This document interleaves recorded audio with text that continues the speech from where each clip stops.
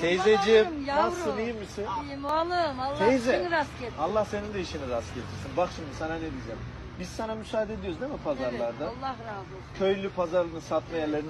Ama şimdi şu kaldırım şurada olmuş mu teyze hiç? Olmamış. He, Allah aşkına. Allah razı olsun, Bak olmamış. ben neye üzülüyorum biliyor musun? Evet. Senin burada durduğuna değil. Betona oturmuşsun yazın. Yapacak Sana pazarda bir yer versek. Şimdi bunları koysak arabaya şöyle güzelce. Ne bu? Ne bu? Şu yelmik oğlum. Yelmik. Şu da yelmik, şu da köy rokası. Adamların, Şu da köy rokası. He. adamların tarlaları sürdüler ya. He.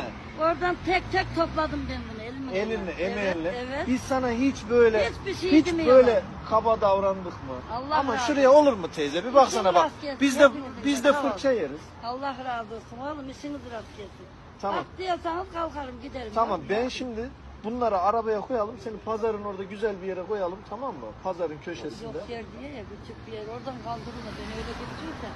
Nerede? Sen bırakıp gidersin beni kaftirle gittirle. O zaman cuma pazarına gel. Tamam, durayım Tamam mı? Köylü Tamam. pazarımıza gel. Ama buradan kaldır tamam. Beni şurada bir poşetçi var. Oraya götürüyor oğlum. Tamam.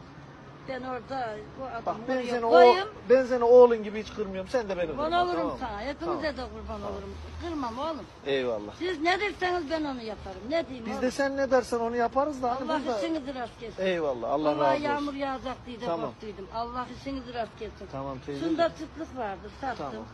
Bunlar Ben da seni ben seni Allah için seviyorum. Tamam. Kurban olurum ben de sizi Eyvallah, seviyorum tamam. yavrum.